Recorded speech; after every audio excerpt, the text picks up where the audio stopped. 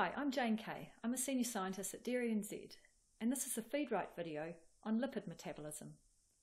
In this video, we will talk about the different types of lipids that are found in feeds, what happens when a cow eats these lipids, and how the different lipids affect cow production and performance. So, what is a lipid? A lipid, or a fat, as it's more commonly called, is a substance found in plant and animal products that is not soluble in water. The basic structure of a fat is a carbon or glycerol backbone with three fatty acids connected to it. The fatty acids can vary in length and in the number and position of double bonds that they have. If they have no double bonds, they are known as saturated fatty acids. If they have one or more double bonds, they are called unsaturated fatty acids. The number and position of these double bonds alters the way the fatty acids are digested and can also alter their biological activity. On a weight basis, fat contains more than twice the energy content of carbohydrates. However, only a small amount, no more than about 6%, can be included in the cow's diet. This is because too much fat in the diet can negatively affect rumen function, reduces dry matter intake, and cow performance. So, let's look at what happens inside the cow. When a cow eats a diet containing fat, the fat is rapidly hydrolyzed in the rumen. This means the bonds between the glycerol backbone and the fatty acids are broken. The sugar units in the glycerol backbone are used by the rumen microbes as an energy source, while the fatty acids are released into the rumen. As mentioned before, these fatty acids can be different lengths and they can be either saturated or unsaturated. Now this is important as it determines how they are processed in the rumen. We'll start with the unsaturated fatty acids, as these are the predominant fatty acids found in forages and grains. Unsaturated fatty acids, so that's the fatty acids that contain the double bonds, are actually toxic to many rumen microbes, particularly those that are involved in fibre digestion. In an attempt to detoxify these fatty acids, they undergo a process in the rumen called biohydrogenation. Now, biohydrogenation is simply the addition of hydrogen ions to the unsaturated fatty acids.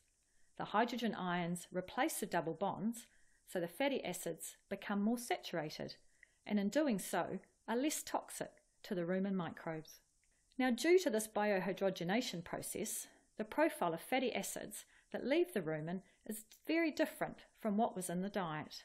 Although the majority of unsaturated fatty acids that are eaten are completely saturated before they leave the rumen, some fatty acids escape during the biohydrogenation process. This depends on the chemical structure of the fatty acid in the diet and the rumen environment.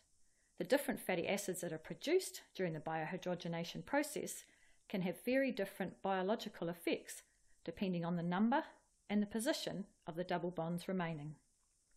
Now, generally, a cow's diet contains about 3 to 4% fat, and the biohydrogenation process is able to detoxify the unsaturated fatty acids. However, if the cow's diet contains too much fat, the biohydrogenation process is overwhelmed, the fatty acids cannot be saturated, and rumen function is reduced. This results in reduced fibre digestion, decreased dry matter intake, and ultimately reduced cow performance. If we look at the other types of fats that can be found in the cow's diet, we have the saturated fatty acids. These are generally found in animal fats and also in some byproducts such as palm kernel. Because these fatty acids are already saturated, in that they have no double bonds, they are not as toxic to the rumen microbes. This means they do not have to undergo rumen biohydrogenation and can pass through the rumen unaltered. Now, the other type of fat that can be included in the cow's diet is protected fats. Protected fats form the basis of commercial products such as Megalac or Hyprofat and consist of fatty acids that have been chemically treated. The chemical treatment helps reduce the interaction between the fatty acids and the microbes and therefore reduces the negative effect that fat can have on rumen function. This means some additional protected fat can be added to the cow's diet without negative consequences.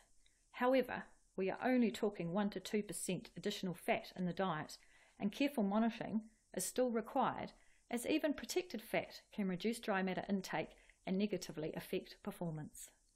The other use of protected fats is that they can be used to deliver specific fatty acids to the cow to elicit a particular response. Unsaturated fatty acids, such as CLA, can be used to reduce milk fat production. However, in the unprotected form, these fatty acids would be biohydrogenated in the rumen and would lose their biological activity. If they are protected, they pass through the rumen unaltered and thus are made available to the cow.